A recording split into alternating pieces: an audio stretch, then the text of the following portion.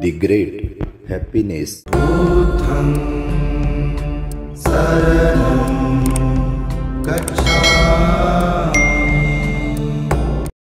मनोपुब्बाङ्गमाधम्मा गमा मनो मनो मनसाचे पदुठेन भासते वा करोति वा। ततो नङ दुःखमनवेति चकं वा। पदम् मनोपुब्बङ्गमाधम्मा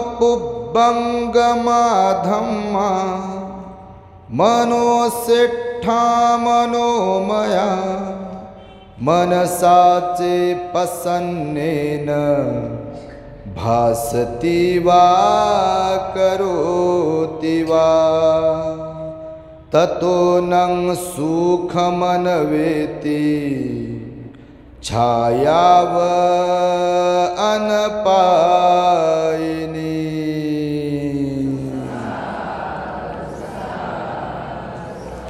संपूर्ण विश्वाला ज्यांनी सुख शांती मानवता तथा दुःख मुक्तीचा आर्य संदेश दिला असे ते दुःख मुक्तीचे मार्गदाता दुःख मुक्त महामानव महान कारुणिक तथागत भगवान सम्यक संबुद्ध तथागतांनी आपल्या शुद्ध प्रज्ञेतून निर्मिलेला सद्धम्म आणि त्याच सद्धम्माचा गेली अडीच हजार वर्षांपासून सातत्याने अहोरात्र प्रचार आणि प्रसार करणारा पूजनीय भिक्खू संघ या महान आणि सर्वश्रेष्ठ अशा त्रिरत्नांना प्रथमत त्रिवार अभिवादन करतो.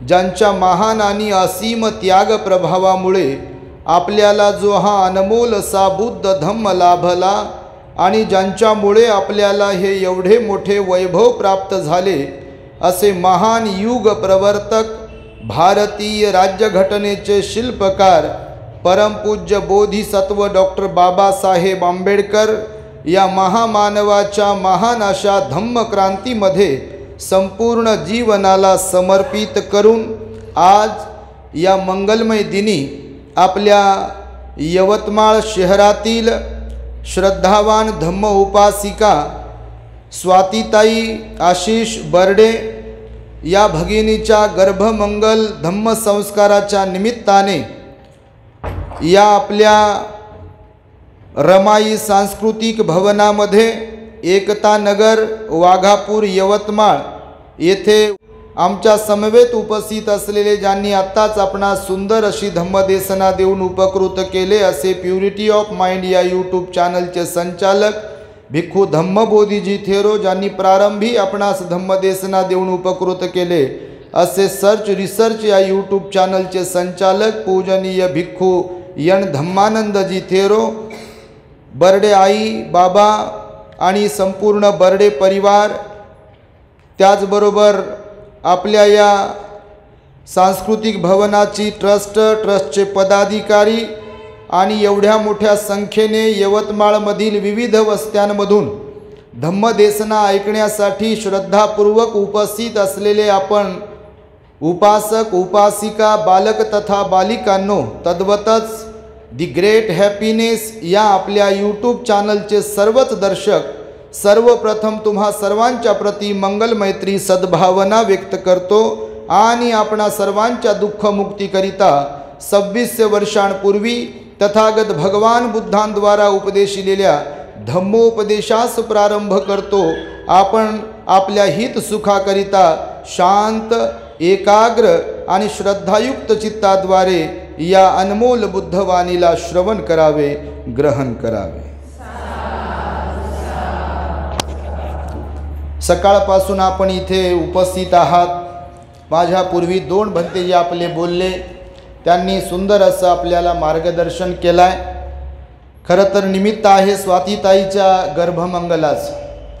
आता सध्या समाजामध्ये खूप चांगल्या प्रकारे जागृती होत आहे. त्याचा हा नमुना आहे.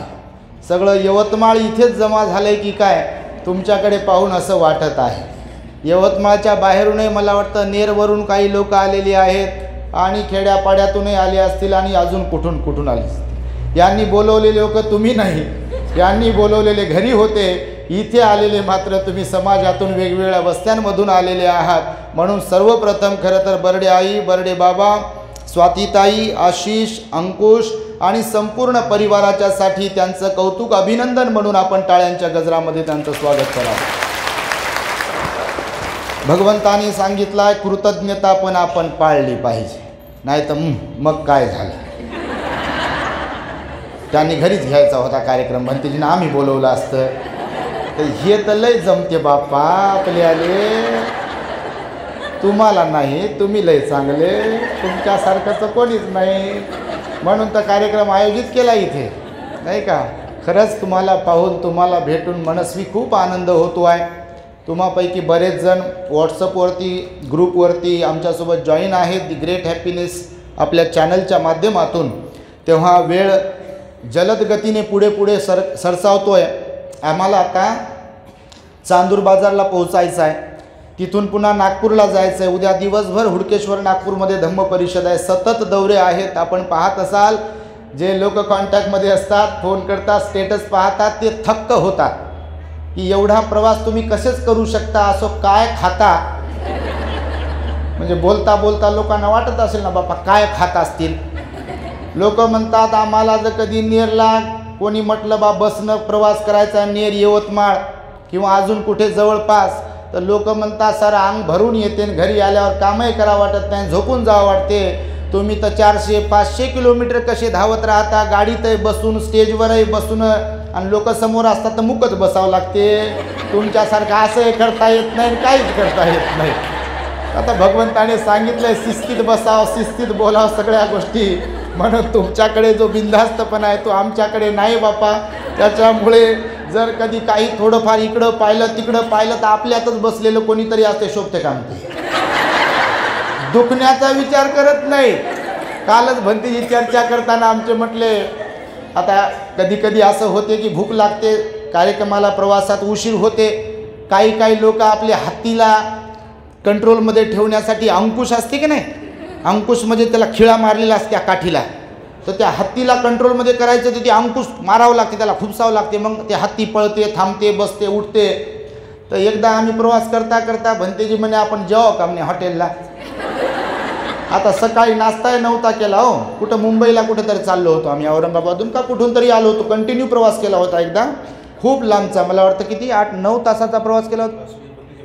हां अश्वजित भंतेजी वारले होते एक आत पाले हे कुठे होते? सिरल्याला. तर तेव्हा तर आम्ही निघालो बघा कुठं होतो? दिल्ली. दिल्लीवरून मुंबई. मुंबईवरून आम्ही त्या अकोल्याला प्रवास. तर दिल्लीवरून सकाळी विमानानं निघालो मुंबईला पोहोचलो. मुंबईवरून गाडी गाडीने मग सेल्फ ड्रायव्हिंग करत करत तेव्हा हे आपला समृद्धी हायवे चालू नव्हता. तर त्या मधल्या रस्त्याने नागपूरकडे नागपूर रस्त्याने आलो अकोल्यापर्यंत. तर बनतेजी म्हणजे आमची भूक लागली म्हणे बनतेजी.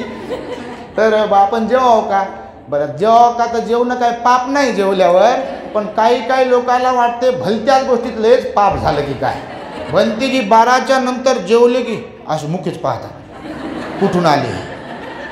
कोणं बोलवलं? किती वाजले? पाहता का तुम्ही जरा? तर भंतेजीला मी म्हटलं बापा लोक असे आहे आपले.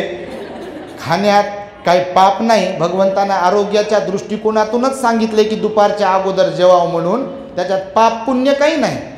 पण काही लोकांचं बरोबर त्याच्यावरच ध्यान राहते जेवतात कधी जेवतात कधी. तर मग ते अशी गोष्ट झाली होती होत राहते. म्हणून प्रवास करतो प्रवास करता करता मग जेवणात कमी जास्त होते झोप होत नाही. त्याच्यामुळं हे जे दिसते तुम्हाला हे कधी कधी दिसते असं प्रसन्न पण फार कधी कधी त्रास होतो. पण ते कुणाला सांगता येत नाही. हे बसल्यावर असं असं बसावं लागते कधी असं होते. तर कोणाला सांगावं कसं? सांगावं सांगावं तर एखादं उठून म्हणायचं मग काय तुम्ही का उपकार करता का आमच्यावर? आणि मग दीक्षा कशाला घेतली? आणि भगवान बुद्धानं सांगितलेलं माहीत नाही का तुम्हाला? बापा त्याच्यासाठी तर असे एकदम अंकुश लावूनच सगळीकडून. म्हणजे काम करावं प्रामाणिकपणे आणि कराव तर म्हणजे उपकार नाही कोणावरती हे तर आमचं पुण्य आहे हो. आम्ही तर नेहमी सांगतो की जीवन समर्पित आहे बाबासाहेबांच्या. जेवढं बाबासाहेबांनी आपल्यासाठी केलं आहे त्याच्या त्यांच्या त्या काय कामाची आपण धुळही नाही बनू शकत. कितीही उपकार त्या बाबासाहेबांचे आणि म्हणून आपण उपकार करत नाही. परंतु कधी कधी असं वाटते बा लोकांनी पण समजून घ्यावं. काल तिकडे त्या पिंपळगाव नेरला गेलो. ते नेरवाले म्हणे भंतीची पाचच मिनटं या आमच्याकडे. एकाच झालं म्हणे दुसरे पाचच मिनटं या. असं कुठेही गेलं की लोक म्हणतात पाच मिनटं या. या कार्यक्रमात थांबलेले असतात बसलेले असतात आणि इथून म्हणतात आमच्या घरी येतात भंतेजी कार्यक्रम ऐकलाय प्रवचन ऐकलंय खुश. आणि मग नंतर भंतेजी म्हणतात बा आता उशीर झाला आम्हाला जायचं आहे. तर मग बारीक तोंड करते पहा. आता मी म्हणतो तुम्ही मायबाप आहे. तुम्ही समजून घेतलं पाहिजे का नाही? तर हे सगळे ॲडव्हर्टाईजमेंट होती. म्हणून मी म्हणालो की त्यांच्याप्रती कृतज्ञता व्यक्त केली पाहिजे. याच्यासाठी ते बोललो. कारण स्वातीताई बर्डे आई आणि संपूर्णच परिवार खरंच पुण्यवान आहे. घरी कार्यक्रम घरगुती घेऊ शकले असते. पण तुम्हा सर्वांना संधीचा फायदा व्हावा. म्हणून महिला मंडळाने पण मनावर घेतलं आपल्या इच्छा. कोणीतरी मला कॉलवर कॉल करत होतं भंतेजी तीन तीनदा. हे म्हणे भंतेजी तुम्ही येऊ लागले म्हणे आमची विनंती आहे म्हणे बा तिकडं परित्राण वगैरे करा भोजन वगैरे तिकडं घ्या पण प्रवचन आमच्या इकडे द्या. मी म्हटलं बा आम्हाला कुठेही नेऊन बसवा काय विषय कुठंही बोलायचं. आईला घरी पण म्हटलं इथं बोलावं काही तिथे बोला तर आई म्हणे इथं थोडंसं बोला तिकडं थोडंसं. मी म्हटलं असं कसं काय बोला कारण बोलत बसलो तर आता पाहिलं नाही का तुम्ही. बोलता बोलता दोन तीन तास निघून जातात. आणि त्यामुळे जास्त लोकांना लाभ व्हावा म्हणून हा जो काही मध्य साधलेला आहे त्याबद्दल सगळ्याच महिला मंडळांच्या प्रतीसुद्धा मी विशेष मंगल मैत्री करतो. पुनश्च एकदा तुम्ही सर्वांनी जे या कार्यक्रमासाठी आलात ज्या आयोजकांनी हा कार्यक्रम आयोजित केला बर्डे परिवाराच्या सह हे महिला मंडळ भीमज्योती चॅरिटेबल ट्रस्ट आहे धम्मज्योती महिला मंडळ वाघापूर आहे या सगळ्यांच्यासाठी सुद्धा त्यांचं कौतुक म्हणून एकदा टाळ्या वाजवून त्यांचं स्वागत करायचं तर विषयाला लांब होत नाही आम्हाला पुढे निघायचं आहे म्हणून मी तुम्हाला आज छोटासा उपदेश करेल. भगवान बुद्ध म्हणाले जगतामध्ये चार प्रकारचे लोक असतात बघा. किती प्रकारचे? तुमच्यात बसलेले इथं नसलेले कोणत्याही जाती धर्माचे या भोंग्यावरून ऐकणारे न ऐकणारे यूट्यूबवरून ऐकणारे या सगळे लोकांमध्ये किती प्रकारचे लोक आहेत? चार प्रकारचे. आता फक्त पहा बा आपण कोणत्या प्रकारात मोडतो ते. तर मी काय म्हणत नाही तुम्हाला तुम्ही कोणत्या प्रकारात मोडता. तर भगवंताने या जगतातल्या सगळ्या लोकांच्या बद्दल सांगितलं. चारच प्रकारचे लोक आहेत. पाचव्या प्रकारचा व्यक्ती या जगात नाही. चारच प्रकार आहे. मग त्या स्त्रिया असो पुरुष असो तरुण असो तरुणी असो का श्रीमंत गरीब असो शिकलेले असो का अशिकलेले असो ह्याच्याशी काही संबंध नाही परंतु किती प्रकारचे लोक? चार प्रकारचे. तर भगवान बुद्ध म्हणाले काही काही लोक इथे जन्माला येतात. काही काही लोक मनुष्य म्हणून इथे जन्माला येतात पण ना स्वतःचं भलं करतात ना दुसऱ्यांचं इतरांचं भलं करतात. असे असतात की नाही? होच म्हणता तुम्ही नाही काय म्हणाल? खरंच असतात असे लोक बघा. बिलकुल असतात असे नसतील कसे? कारण वेगवेगळ्या प्रकारचे लोक आहेत नाना तऱ्हेचे लोक आहेत वेगवेगळ्या मानसिकतेचे लोक आहेत वेगवेगळ्या स्वभावाचे लोक आहेत. माणसं तेवढ्या प्रवृत्त्या म्हणतो का नाही आपण? आहे की नाही माणसं तेवढ्या प्रवृत्त्या? आता तुम्ही इथं बसलेल्यांपैकी काय जेवायला थोडी आले सगळेजण? आले का? हां नाही म्हणा. नाही आले जेवायला. तुम्हाला अल्पोपार आहे पण खरंच त्याच्यासाठी तुम्ही आले नाही ना. पण काही काही ठिकाणी लोक त्याच्यासाठी जातात. पंगत कधी बसते आणि पहिली कधी उठते आणि माझा नंबर कधी लागते आणि एकदाच कधी टप्पू मारून पोट भरते. याच्यावर लय दात लोकांचा काही काय. तुमचा नाही बापा तुम्ही तर लय चांगले. तर पहिला प्रकार आहे बघा का स्वतःचंही भलं करत नाहीत आणि दुसऱ्यांचंही भलं करत नाहीत बघा. आले तसे गेले. वायाला जातात बघा काही काही लोक. कोणाचेच होत नाही. मायचे नाही बापाचे नाही बायकोचे नाही बायको असेल तर नवऱ्याचे नाही लेकराचे नाही भावाचे नाही बहिणीचे नाही नातेवाईकांचे नाही शेजाऱ्यांचे नाही समाजाचे नाही गावाचे नगराचे नाही देशाचे नाही कोणाचेच नाही. बस. खाण्यासाठी जगणे जगण्यासाठी खाणे आणि खाता खाता बटन दबलं की मरणे. असतात की नाही असे काही लोक? काही देणं घेणं नाही. बिलकुल मशगूल स्वतःतच मशगूल. मला पाहन फुलं वाहा. पाहतच राहा फक्त त्यांच्याकडे हो. पाहतच राहा. माडी पहा गाडी पहा शिक्षण पहा नोकरी पहा. बिलकुल काहीच देणं घेणे नाही. कोणाचं भलं करत नाही काही नाही. स्वतःचं भलं करत नाही. वाम मार्गावर लागलेले असतात काही काही लोक. सील सदाचाराचा संबंध नसतो काही. विहाराचा संबंध नसतो काही. सामाजिक धार्मिक कार्याचा संबंध नसतो काही. कोणाचं भलं करत नाही तर आपलंही भरं करत नाहीत बिलकुल वेडेपणानं राहायचं जनावरासारखं राहायचं वागायचं. काही बोलायचं कुणालाही बोलायचं कसंही बोलायचं काही खायचं काही पियायचं. आणि असं जीवन आपलंही वाया घालवतात आणि इतरांचंही जीवन वायाच घालवतात शिव्यात देतील. नावत ठेवतील निंदाच करतील. मी सांगतो तसं पाखडतच राहतील. चांगलं नाहीच कोणाच्या बद्दल. बिलकुल असे लोक ना स्वतःचं भलं करतात म्हणाले भगवान ना दुसऱ्यांचं भलं करतात. तर भगवान बुद्ध म्हणाले असे जे लोक असतात त्यांना भगवंताने कशाची उपमा दिली माहीत आहे का तुम्हाला? स्मशानातल्या अर्धवट जळालेल्या लाकडाची उपमा दिली. दोन्ही साईडनं जळालेलं स्मशानातलं लाकूड असेल त्या सरणावरून घसरून खाली पडला असेल त्याच्या त्या लाकडाचा वापर कोणी स्वयंपाकासाठी करेल काय चूल पेटविण्यासाठी करेल का? शेकोटीसाठी करेल का? दुसऱ्या कोणत्या कामासाठी करेल का त्या लाकडाचा वापर? अर्धवट स्मशानात सरणात जळालेल्या लाकडाचा कोण कशासाठी वापर करेल? तर असे स्मशानात अर्धवट जळालेले जे लाकडं असतात त्या लाकडासारखेच समाजामध्ये काही काही माणसं असतात. माणसं म्हणजे पुरुषच नाही बरं बाप्पा नाही तर माणसं हा माणसं का? आम्ही नाही आम्ही नाही तर तसा विषय नाही बाप्पा. पुरुष आणि स्त्रिया तरुण तरुणी कोणत्याही जाती धर्माचे सगळ्यांचीच गोष्ट केली भगवंताने आपल्या. तर असे अर्धवट जळालेल्या लाकडासारखे काही लोक असतात या जगतात. बिलकुल तुम्ही तसे नाही बापा. पण काही काही लोक असे असतात. तर असं असायला पाहिजे काय? नाही. भगवान बुद्ध म्हणाले असे नीच प्रवृत्तीचे लोक असतील. असे जे कोणी लोक असतील ते नीच प्रवृत्तीचे. ना स्वतःचं भलं करतील ना? इतरांचं भलं दुसरा प्रकार सांगितला भगवंताने काही काही लोक इथे जन्माला येतात दुसऱ्यांचं भलं करतात. बिलकुल दुसऱ्यांच्या कामी पडतील दुसऱ्यांचं भलं करतील दुसऱ्याला वेळ देतील दुसऱ्यासाठी बुद्धी खर्च करतील दुसऱ्यासाठी कळवळा करतील पण आपलं भलं करणार नाही. गावाकडे त्या लोकांना म्हणतात लोकधार्जिनी तुमचा एखादा मुलगा असू शकते तुमच्या घरचा माणूस असू शकते तुम्ही असू शकता त्याच्यात. लोकधार्जिनी हा शब्द आहे बघा. म्हणजे लोकातच भलं व्हायचं पडते. आपलं गेलं कुठं आपलं नुकसान झालं तर झालं. फार कमी असे लोक असतात बघा. स्वतःचा विचार न करणारे पण इतरांचा विचार करणारे लोक असतात या जगतामध्ये. त्यांना लोकधार्जीने म्हटलेलं आहे. तर हे लोक काही अंशी भगवान बुद्ध म्हणाले एका अर्थाने जर पाहिलं तर असे जे लोक आहेत ते थोडेफार चांगलेच असतात. कारण कोणाचं वाईट तर करत नाहीत. जरी स्वतःचं भलं करून नाही घेता आलं तर इतरांचं तर भलं करतात ना. तर इतरांचं भलं तरी करता आलं पाहिजे ना. करता आलं पाहिजे का नाही? हो म्हणा नाही म्हणू नका. नाही तर स्मशानातल्या लाकडासारखं म्हणून काही फायदा नाही.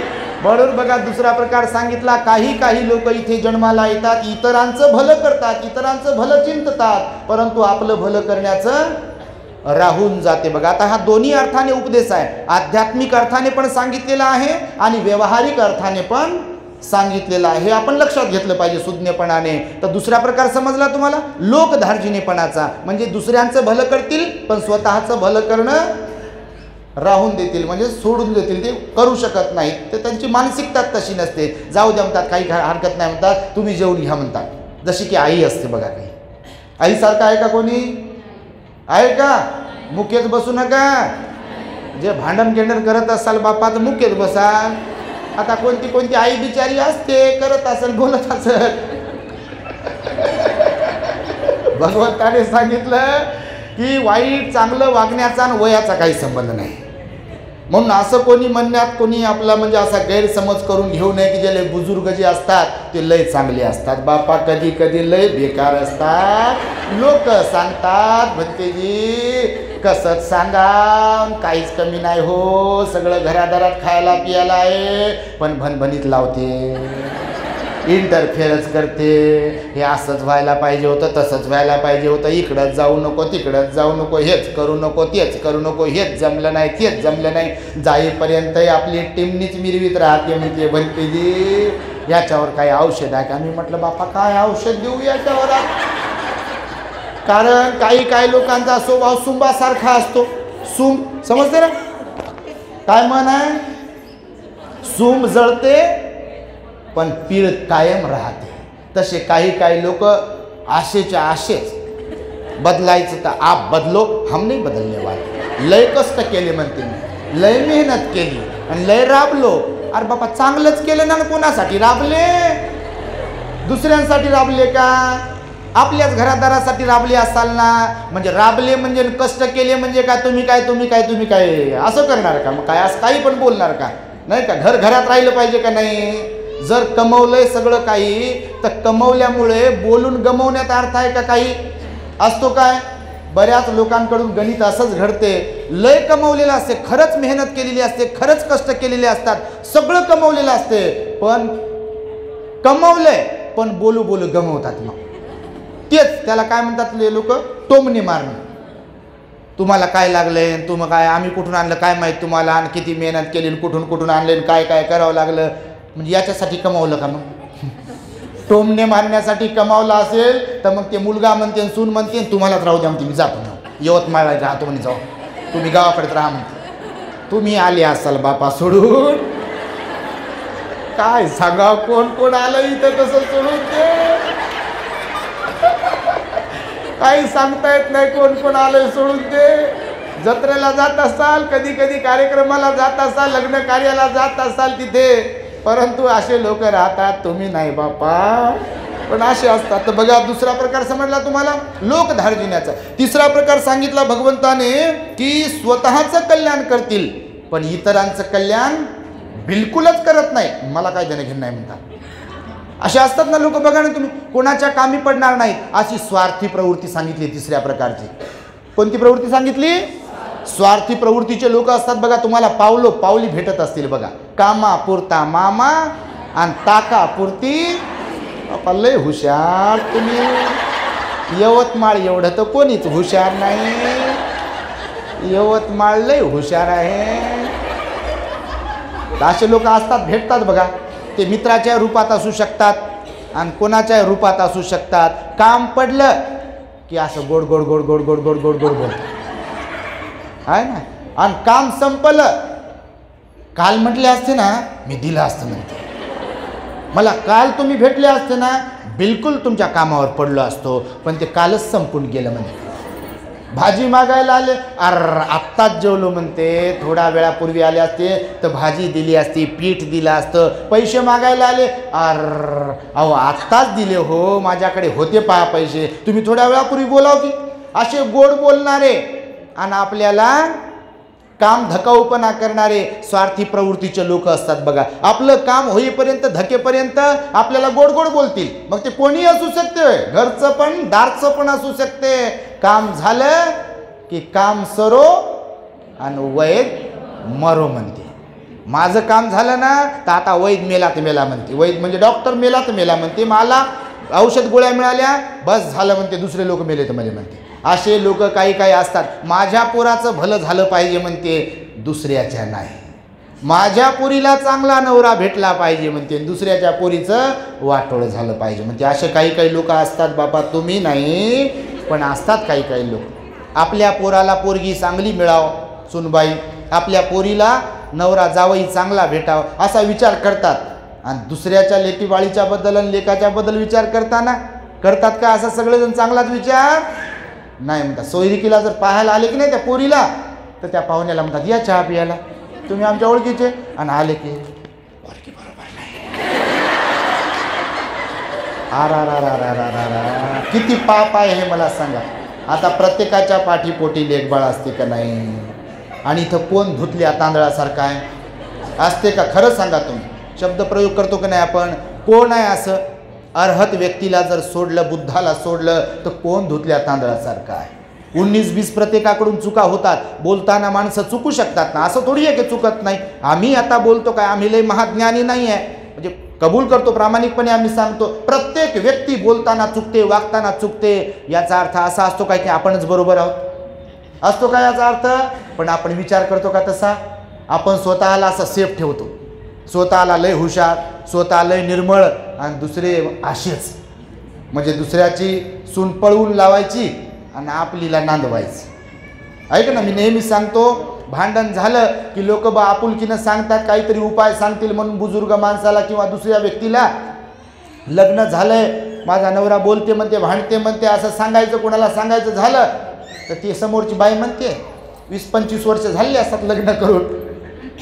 या नवीन नवरीला जर सा सांगितलं कधी आत्या माझ्या सासूला जरा काही सांगा तुम्ही काय बरोबर बोलत नाही बरोबर वागत नाही माझा नवरा बरोबर वागत नाही.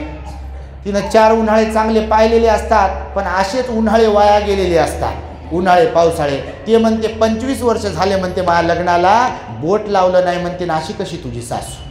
असा कसा तुझा नवरा? जाय म्हणते पळून तू. जगात असे लोक आहेत बघा. आणि म्हणून भगवंताने सांगितलं तिसऱ्या प्रकारचा वर्ग कसा आहे इथे?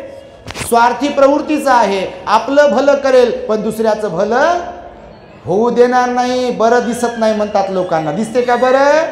आता इथंच बापा बर्डे आईनं स्वातीताईनं आशेषनं अंकुशना बाबाने कार्यक्रम घेतला. तुमच्या महिला मंडळानं कार्यक्रम आयोजित केला. एवढे मोठे लोक बनव बोलवले इथे. तुफान गर्दी आहे. आता तुम्ही ज- घरी जाऊन सांगालच. अहो तीन भंतेजे आले होते हो प्रवचन झाले बापा. लय डोक्यात प्रकाश पडला ट्यूब पेटली काय काय. आता तुम्ही जर मन चांगलं असेल तर चांगलंच पाखडणार.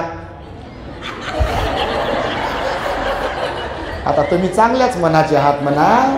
पण समजा ज्यांना तुम्ही घरी जाऊन सांगाल तुमच्या नगरात गावात जाऊन सांगाल की लय भारी वाटलं बघा आजचा दिवस फार चांगला गेला असं तसं कोण आलं होतं काय आलं होतं? महिला मंडळाने कशी तयारी केली होती बर्डे आईने कसा कार्यक्रम घेतला वगैरे वगैरे हे डेकोरेशन केलं होतं आणि खूपच लोक आले आणि भंतेजी बोलले आणि यूट्यूबवर गेले आमचा व्हिडिओ गेला आणि आम्ही दिसणार. असं कोणाला सांगून तर पहा. सगळेच म्हणणार नाहीत अरे बाप असं झालं का? कोणीतरी तुम्हाला भेटेल. तुम्हाला काय काम धंदा नाही काही नाही. आणि चालल्या तुम्ही भंतेजीच्या मागे. आणि चालल्या त्या महिला मंडळाच्या मागे. म्हणतात का नाही असे काही काही? बापा लय म्हणतात असे लोक. ते ध्यानाला चालल्या म्हणतात बाया त्यांना काय काम धंदा नाही काय नाही. दोन दोन सुना आहे घरी काम करायला आणि चालल्या वर तोड करून. असे म्हणतात लोक. आता सांगतात ना आमच्या आया बाबा भाऊ बहिणी असं सांगतात भंतेजी. कसंच करावं म्हणतात या लोकांना. मी म्हटलं बापा काहीच करू नका. मंगल मैत्रीच करा आणि सोडून द्या. ज्याचे त्याचे कर्म असतात कर्माचा परिणाम ज्याचा त्याला आहे ना जो कोणी जसा कसा विचार करेल जसं कसं वर्तन करेल जसं काही वाणीचं कर्म करेल ज्याला त्याला त्याला त्याला तसा तसा त्याचा परिणाम भोगावा लागेल. म्हणून लोक वाईट झाले म्हणून आपण वाईट व्हायचं नाही. लोक लाख तुम्हाला वाईट म्हणू द्या. तुम्ही चांगले आहात हे तुम्हाला प्रामाणिकपणे माहीत असलं पाहिजे. कर्मावर सोडून द्यायचं. एक दिन आता है और हर किसी को अपने अपने कर्म का विपाक प्राप्त होता है. माहिती आहे तुम्हाला? कर्माचा परिणाम आहे पृथ्वी गोल आहे मी नेहमी सांगत असतो. पृथ्वी कशी आहे? गोल आहे. आज आपण जर कुणाला काही बोलत असेल कुणाबद्दल वाईट बोलत असेल तो एक दिन आता है हमारे बारे में भी लोग बिलकुल बोल सकते हैं. बोलत नाही? म्हणून भगवान म्हणाले जेवढं चांगलं वागायचंय जेवढं चांगलं बोलायचंय तेवढं चांगलं बोला वागा. वाईटांच्या नादी लागू नका. वाईटांच्या मार्गात जाऊ नका त्यांच्याशी संगत धरू नका. कारण ज्यांच्यासोबत तुम्ही राहता ज्यांच्यासोबत तुम्ही बोलता बसता उठता त्यांचा परिणाम होईल की नाही सहवासाचा?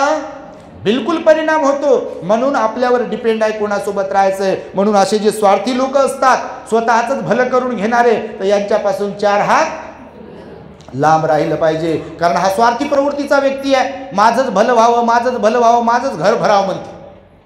माझंच घर भरलं पाहिजे माझेच खिशे भरले पाहिजे माझंच भलं झालं पाहिजे चांगलं झालं पाहिजे आणि दुसऱ्याचं वाईट झालं पाहिजे किंवा दुसऱ्याहून काही देणं घेणं नाही म्हणते असा तिसरा वर्ग आहे. चौथा आणि शेवटचा वर्ग सांगितला भगवंताने या जगात फार दुर्मिळ दुर्लभ असे लोक असतात की जे स्वतःचंही भलं करण्यासाठी जन्माला येतात आणि इतरांचंही भलं करीत करीत जीवनयापन करत असतात. जसे संत महापुरुष बुद्ध बाबासाहेब इथे जन्माला आले स्वतःचं भलं करणं म्हणजे काय?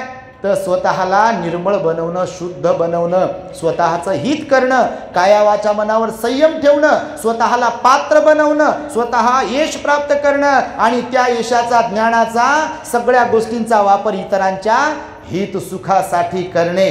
ज्याप्रमाणे बाबासाहेब इथे जन्माला आले बाबासाहेबांच्या अगोदरही असंख्य लोक इथे जन्माला आले. त्यांच्या नंतरही आपल्यासारखी कितीतरी लोक जन्माला आले. रोजच्या रोज जय भीम म्हणून म्हणणारे लोक लय जन्माला आले. त्यांची जयंती नाचू नाचू डीजे लावून दारूतून साजरे करणारे लय जन्माला आले. बाबासाहेबाच्या जयंतीच्या नावाने स्वतःचा शहनशोक करणारे लोक इथं लय जन्माला आले. बाबासाहेबाच्या नावाने पद उपभोगणारे लोक लय जन्माला आले. भिकारी मागती धन बाबा तुझ्या नावावर. आम्ही पण जगतो जीवन बाबा तुझ्या नावावर. कुणाचे थोर मरण. खरं की खोट? मुख्यच बसले तुम्ही. हे खरं- हे खरंच आहे ना? बाबासाहेबांच्याच नावानं सगळं काही आहे ना? हे शानो शौकत जे काही आहे कोणाच्या नावाने आहे? बाबासाहेबांच्या पण सगळेच इमानाला जागतात काय? जागतात का? भीमा. तुझ्या मताचे जर पाच लोक असते तलवारीचे तयाच्या न्यारेच टोक असते. भीमा तुझ्या मताचे जर पाच लोक असते अशी कवी कल्पना आहे वामनदादांची जर पाच लोक असते आज देशातलं वातावरण पहा आपण कुणावर टीका टिप्पणी करत नाही. इकडे एक ना धड भाराभर चिंध्या आहेत. लोकांनी खोट्याचं खरं केलं आणि इकडं खरं बाजारात विकल्या जात नाही आपलेच लोक विकू देत नाही. विकू देत नाही. त्रास देणारे इतरच लोक आहेत असं आपण म्हणू शकत नाही. त्रास देणारे आपलेही लोक असतात. माझ्यातला भीम मीच केला उना दोष देऊ कुणा काय नाही केलं बाबासाहेबांनी आपल्यासाठी. काय ठेवलं बाकी करायचं? हे धन दौलत शान शौकत नोकरी पैसा पन्नास हजाराचा पगार कोणी म्हणते आमच्या पोराला पोरीला पाच लाखाचा काही काही पॅकेज आहे म्हणते. कोणामुळे पॅकेज आहे? बाबासाहेबांच्यामुळे ही लायकी ही पात्रता निर्माण करून दिली की नाही? पण हे सगळं जर काही निर्माण बाबासाहेबांच्यामुळे झालं असेल आणि आपण जर बाबासाहेबांच्या इमानाला जागत नसेल आपण घरीत बसत असेल आपल्या बुद्धीचा वापर बाबासाहेबांच्या चळवळीसाठी वापरत करत नसेल आपल्या पैशाचा वापर केवळ आपल्याचसाठी करत असेल आपल्या ज्ञानाचा वापर केवळ आपल्याचसाठी करत असेल आपलाच पोट भरण्यासाठी तर आपण कोणत्या प्रकारात मोडेल मग? स्वार्थी प्र प्रकारात मोडेल ना? आणि भगवंताने सांगितलं चार प्रकारचे लोक आहेत म्हणून. आणि म्हणून मी तुम्हाला सुरुवातीलाच प्रश्न विचारला की काही काही लोक इथे आहेत की जे स्वतःचं पण भलं करतात आणि इतरांचंही भलं करतात. भगवान म्हणाले सर्वश्रेष्ठ मनुष्य त्याच व्यक्तीला म्हणू शकतो की जे स्वतःचं पण भलं करतील. म्हणजे वेल सेटल बनतील. ज्ञानीवंत बनतील सुशिक्षित बनतील नोकरदार वर्ग बनतील बुद्धिवादी बनतील class one class two officer बनतील आपल्या पोरांना तसं बनवतील समाजातल्या पोरांवरती सुद्धा लक्ष देतील त्यांनाही आपल्या ज्ञानाचा धनाचा उपयोग करून देतील आपल्या धम्मा प्रचारासाठी आपला पैसा वेळ बुद्धी वापरतील. असे जे लोक आहे ते लोक मात्र स्वतःचंही भलं करणारे आणि दुसऱ्यांचंही भलं करणारे भगवान बुद्ध म्हणाले श्रेष्ठ मनुष्य कोणता? असं जर मला तुम्ही विचाराल व्यावहारिकदृष्ट्या या चारपैकी तर कोणता मनुष्य श्रेष्ठ आहे? कोणता? आहे की नाही? तर म्हणून तुम्ही स्वतःला कोणत्या वर्गात मोडलं पाहिजे? कोणत्या प्रकारचे झाले पाहिजे? कोणत्या प्रकारचे आहात तुम्ही?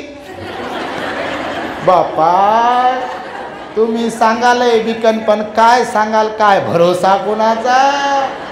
तो ज्याचा त्याचा प्रश्न आहे की आपण कोणत्या वर्गात मोडतो? इथं फार जोरात सांगता येईल आपल्याला की भंतेजी आम्ही चौथ्या प्रकारात मोडतो. पण खरं काय खोटं काय? तुम्हालाच माहीत बाबा आम्हाला काय माहीत? आम्ही काय तुम्हाला ओळखत नाही आम्ही काय यवतमाळमध्ये राहत नाही.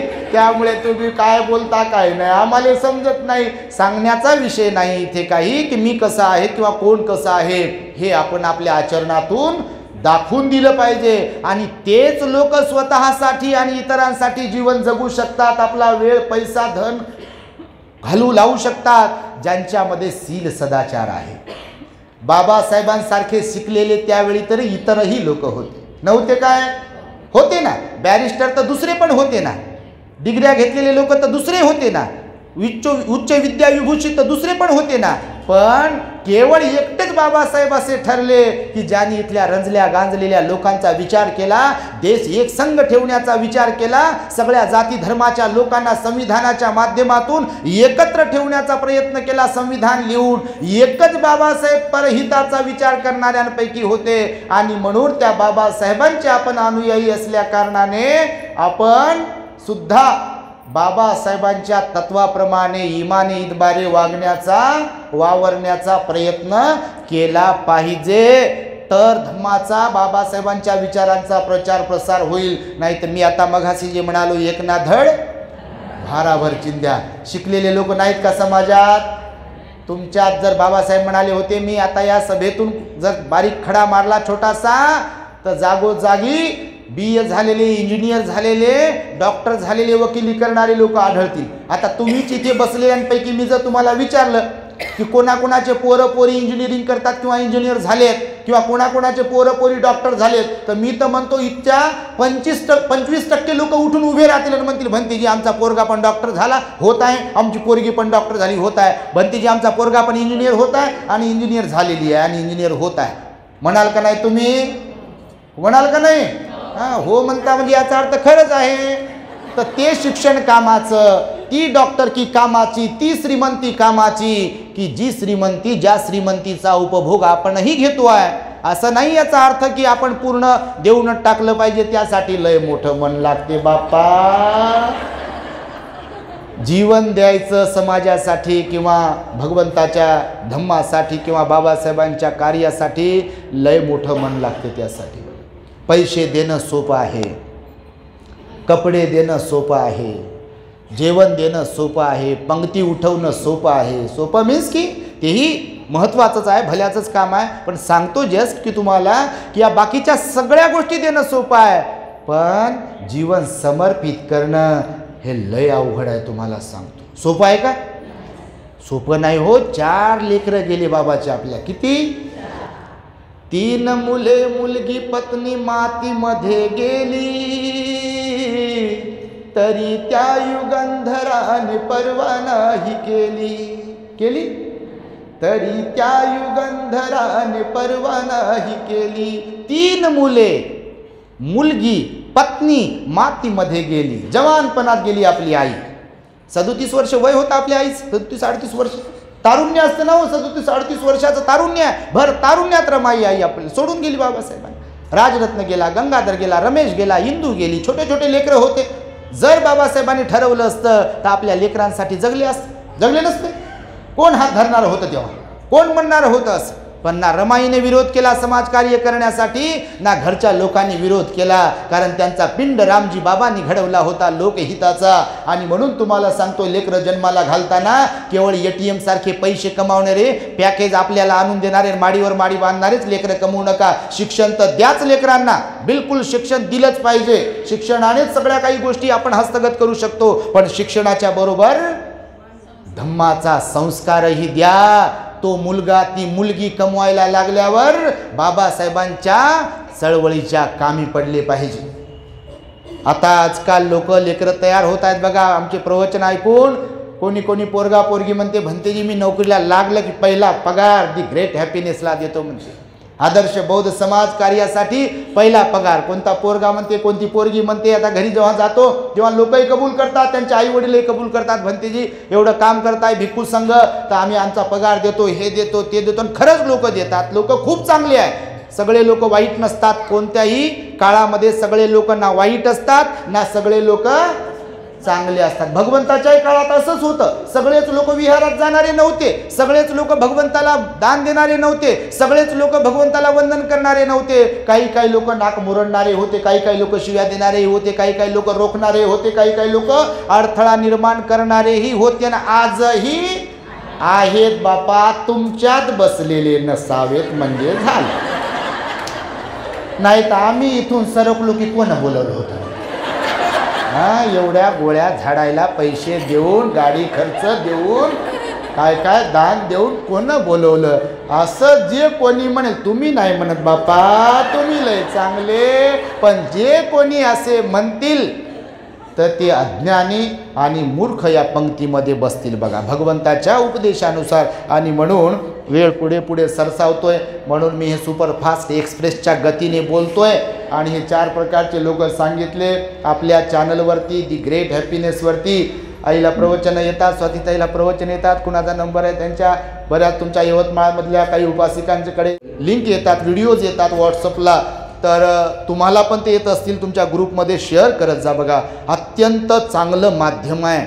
WhatsApp Facebook social media Buddha धम्माचा प्रचार करण्यासाठी. तुम्ही नाही तरी तुम्ही नाही पण काही काही लोक नको नको ते पाहत असतील पिक्चर पाहत असतील चित्रपट मालिका वगैरे पाहत असतील किंवा अजून काय काय डोकं खराब करून घेणारे काय काय पाहत असतात ना लोक. तर जर आपल्याकडे डाटा आहे इंटरनेट आहे वायफाय आहे तर तुम्ही आपल्या चॅनलला जाऊन सबस्क्राईब करत राहा. प्रवचनं लाईक करा कमेंट्स करत जा आणि प्रवचनं शेअर करत जा. तुमच्याकडे जेवढे व्हॉट्सअप ग्रुप्स आहेत त्या ग्रुप्सवरती प्रवचन टाकत राहा. लोकांना तयार करत राहा हे प्रवचन ऐका. विहारानं लोक प्रवचनं लावतात बघा आता सध्या. वर्षावासामध्ये लोकांनी रोज ते विहारामध्ये ते प्रोजेक्टरवरती लोकांनी प्रवचनं लावली आणि आम्हाला फोटो काढून दाखवले पण. आम्ही आमच्याच ठिकाणी कुठंतरी. लोकांना प्रोजेक्टरवर लावले प्रवचन आणि आम्हाला फोटो दाखवला म्हणून भंतेजी पहा. आणि मी खरंच थक्क झालो लय गर्दीत तो बा त्या विहारामध्ये वर्षावासामध्ये प्रवचन लावले लोकांनी आताही भोंग्यावर लोक प्रवचन लावतात. बुद्धाची वाणी सर्वांपर्यंत जाण्यासाठी आपण सहाय्यक बनलो पाहिजे. एका क्लिकचं फक्त आपल्याला वेळ आहे. प्रवचन सगळ्यांना पाठवत राहा. बुद्धाची वाणी अनमोल आहे. आपल्याला जनमानसांपर्यंत बुद्धाची वाणी पोहोचवली पाहिजे. बाबासाहेबांनी ते काम आपल्या प्रत्येकाला दिलेलं आहे. म्हणून तुम्ही सहाय्यक बनाल. आणि या चारपैकी बापा सर्वश्रेष्ठ बनायचं असेल तर शेवटचे बना. स्वतःचंही भलं करा आणि इतरांचंही भलं करा. पहिल्या प्रकारचे मात्र बनू नका. बिलकुल स्मशानातल्या अर्धवट जळालेल्या लाकडासारखे. तर आज मी अधिक बोलत नाही आहे बोधकथा पण सांगणार नाही कारण पुढे प्रवास करायचा आणि पुढे जाऊन पण चांदूर बाजारला आम्हाला प्रवचन द्यायचं आहे त्यामुळे तुम्ही समजून घ्याल अशी अपेक्षा व्यक्त करतो. स्वातीताई आशिष बर्डे. बर्डे आई बाबा अंकुश स्वातीताईच्या निमित्ताने खरं तर त्या भगिनीच्या निमित्ताने आम्ही इथे उपस्थित झालो. आज हे जे काही आम्ही धम्मदान तुम्हाला देत आहोत धम्मदान म्हणजे हे धम्मदेसनेलाच धम्मदान म्हणत असतात. तर आज हे जे काही आम्ही धम्मदान देत आहोत आणि बर्डे परिवाराच्या वतीने आणि तुमच्याही वतीने जे जे काही भंतेजींना आर्थिक दान किंवा वेगवेगळ्या प्रकारचं दान पुण्य केल्या गेलाय केलं जाईल हे सर्व पुण्य स्वातीताईच्या गर्भासाठी स्वातीताईसाठी आणि संपूर्ण बर्डे परिवारासाठी तथा सर्व इथे उपस्थित असणाऱ्यांसाठी नसणाऱ्यांसाठी सगळ्या जीवसत्वांसाठी मी समर्पित करतो या पुण्याच्या योगे. स्वातीताईचं बाळ स्वातीताई त्यांचा संपूर्ण परिवाराला निरोगत्व प्राप्त हो. बाळ गुणवान जन्माला येऊ निरोगी सुसंस्कारी धम्मवान बाळ जन्माला येऊ बुद्ध बाबासाहेबांच्या विचारांवर चालणारे बाळ जन्मास येऊ सर्व परिवाराला आणि उपस्थित असणाऱ्यांना आणि सगळ्या आयोजकांना सुख चा लाभ होत राहो अशा प्रकारची मंगल आणि उदात कामना व्यक्त करून मी माझ्या शब्दांना इथे पूर्णविराम देतो. भवतो सब मंगलम रक्षन्तु सब देवता सब बुद्धानुभावेन सदा भवन्तु ते। भवतु सर्वमङ्गलं रक्षन्तु सब देवता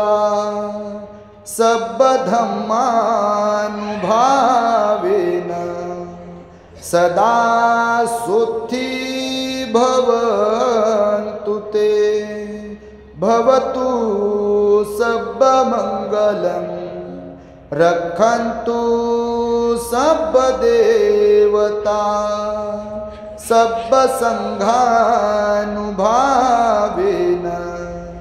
सदा सुथी भवन्तु ते।